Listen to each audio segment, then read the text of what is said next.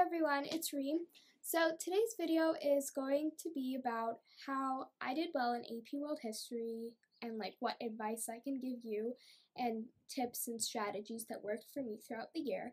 Um, so obviously it doesn't apply to everyone. Everyone has their own way of doing things um, and it definitely doesn't guarantee you an A or a 5 on the AP exam. However, this is just what works for me and um, I know that AP World History was one of my first AP classes. I really didn't know what I was going into, so I'm kind of just putting this video out there to also uh, help others gain a perspective um, on the class before they take it. Uh, so first, um, I'd like to talk about uh, how I utilized my textbooks. So um, we had two textbooks. Uh, one was a primary source textbook, which was amazing. Primary sources, it's basically like a diary or a, um, a an interview or a speech from that time period in history. Um, and so the cool thing about primary sources is that if I wasn't understanding, say, one event, or I wanted to know a little bit more about it, I wanted to spark my interest more, I would go back and read a primary source from that time period, and it kind of gave me like a different perspective on what happened and kind of um, helped me understand what happened better. And then the other one was a um, just a normal huge textbook with a lot of information, very detailed chapters on every every section of history that we went through. Um, so I definitely use the primary source textbook much more than the big old normal textbook. So I have like this kind of outlook on history where if I'm interested in it and I look at it as if it's a story and like it's so much more interesting. It doesn't feel like I'm memorizing information. It actually feels like I'm reading a novel or something about something that happened once. So it that's just my perspective. Um, and then another thing is uh, for the textbook, um, we were assigned chapters to read. However, um, I found I found it very boring and tedious. So I only read the sections where I was a little bit fuzzy on, like I didn't really understand the lecture that well in class. So I'd go over and like look over it and read more of the details of what happened. So um, that just worked for me.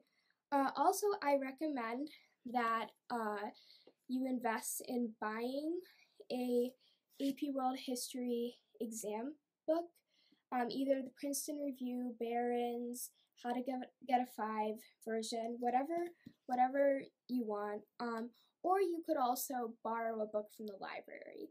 Uh, just having a review book is very, very beneficial in that it's concise, all the information is there that you need to study. Um, it even helps with studying for the individual um, era exams.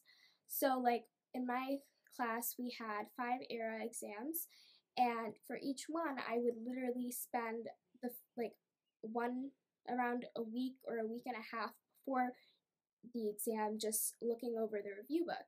Um, and so I will actually show you guys uh, how I used to mark inside my exam review book and how I would. Okay, so this is the um, first section of our re- like review book that actually started reviewing. I know it said chap- says chapter 6, but the chapters prior to this were all dedicated towards going over the essay formats and basically the multiple choice and like a heads up on how to how to do well in the AP exam itself. And this is the actual material. This is where it starts. So it goes from 8000 BCE to 600 CE and this was actually, this time period, this chunk of time was what my first um, exam was all about. Um, and so, you kind of see, I started, I would read and then I would um, take a sticky note and write down like the main points that I had gained from the section or whatever. Uh, so as you go through, keeps there's more sticking notes and it just keeps getting more and more. Um, and then also I highlighted because I knew that I wasn't going to sell this book because I have like younger siblings that I'm going to pass it down to. Just like highlighting key terms. You don't want to overdo it with highlighting because then you lose the point of it. And then what I would do after I had went through and like finished the entire section, which was a lot of pages. And then after I had went through once and like highlighted and like added my sticky notes with my main points, I would go back and look over the sticky notes specifically because they had all the main points, and then I would also look at any visuals or graphics and just kind of try to process that.